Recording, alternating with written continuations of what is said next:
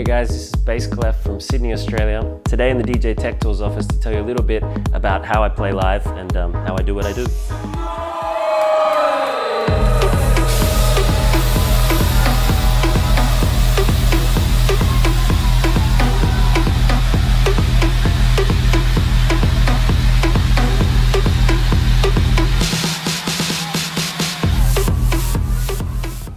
I'm playing, I'm doing a combination of DJing and a little bit of live performance too. I use three CDJs, the mixer, and uh, I use mostly Maschine to do any improvisation on top of my DJing. You know, drums, melodies. Finger drumming is something I'm new that I've, uh, for me, that I've just been trying out a little bit and really enjoying. I come from a drumming background, so it's, it's been something really interesting to try and get my head around. As much as there are some similarities with drumming, there are a lot of things that are different too. I've, I've actually come up with a few different things that's made it a little bit easier, so I'll share those with you today.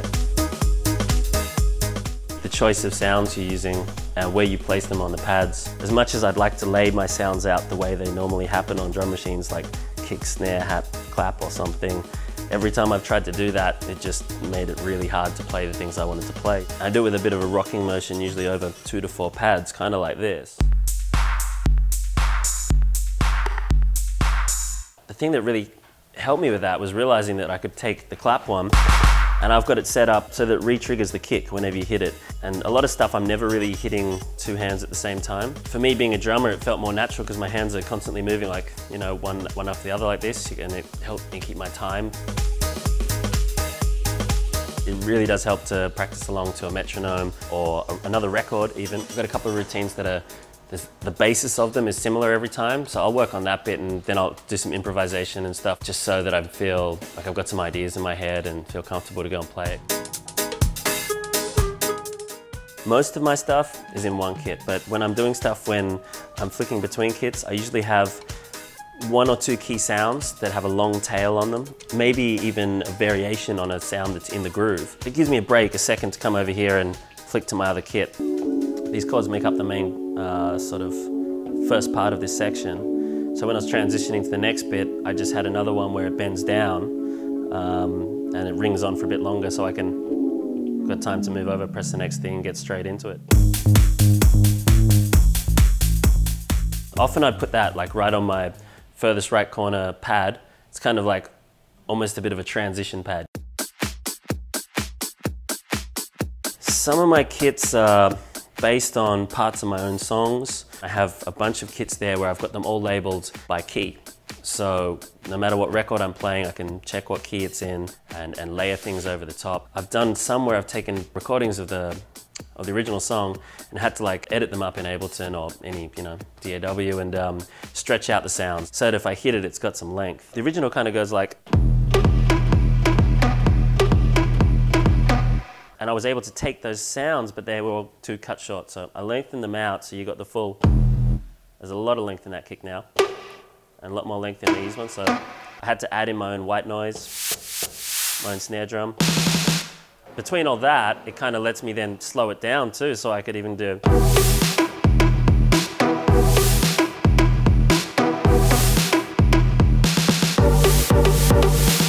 And even change pitch, like.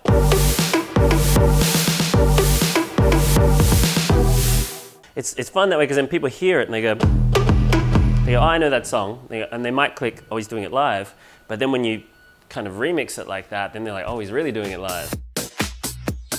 Actually, a lot of people ask me about this. They keep asking me how I get Maschine in time with um, the CDJs. Because I tried it with some other MIDI clocking programs and stuff, and I never liked how it sounded. When Maschine's following a MIDI clock, it was always a bit jerky, and if I played in a beat and recorded it, it didn't have the same cool groove as when it was not following MIDI clock. I load Maschine as a plugin in Ableton, and I've got these little arrows here set up as uh, nudge forwards and nudge backwards, the tempo.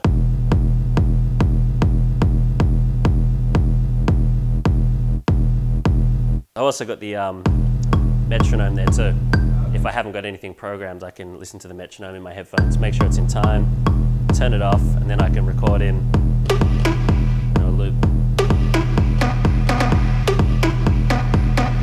Another thing I like about Maschine is the visual feedback from the pads. I didn't really realize how much people were getting it until I did it one day where I like kind of picked it up because it's light and started playing stuff. if I was playing melodies, they'd really get what I was doing because they'd see it light up.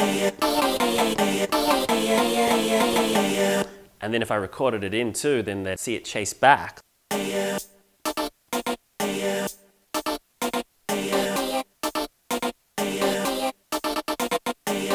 And you see it rolling back. So they start to realize what that's doing there. Then I could go to another sound.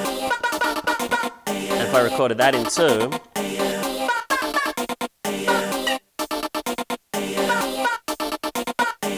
I'll see it looping again as well. It all starts to build up. And they start to get each part and go, oh, okay, he's making something. This is all happening live now until you.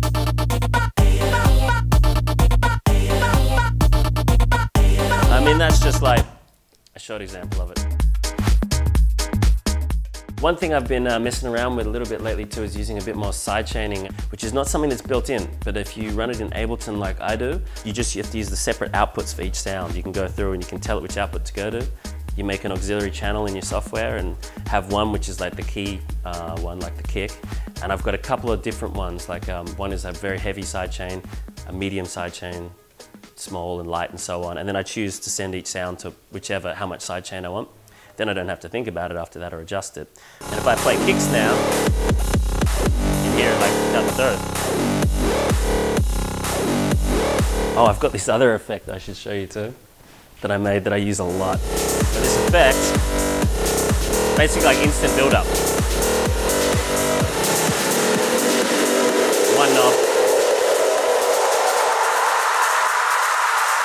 Can either press a button to turn it off or just wind it back down. It's like so handy. It's like this massive chain of a million macros I made. I really love Maschine because it was everything I liked about an MPC with everything I liked about a computer. Uh, but then I found out about using it live and just absolutely loved it. I could set up a loop and um, record things in. I could finger drum. I love that I can do everything with it. Just looking at it, I don't need to touch the computer, look at the computer. As you notice, I haven't done this whole time. And usually at gigs, I'll just even close it, put it to the side. People will ask me, why do you bring a computer? I'm like, oh, it's only because the cable goes there. And it's great. It's more like I'm just using my own little instrument and my decks, just what I'm used to. And I'd played live before with, um, completely live years ago with Ableton and a bunch of things. And I think I made everything a little bit too technical, you know, and um, I was too busy with my head down doing all sorts of things and people couldn't really see what I was doing. You know, it's great to be technical, it's great to, you know, explore new things, but um, it's also good to have at least one part of your show where you interact with the crowd like that and, and give them something visual to it as well. Coming up, I've got a brand new single about to drop. It's called Make Me Forget, out on my label Vacation Records. Um, and you can catch me touring all around the place in the States at the moment and hopefully everywhere else soon too.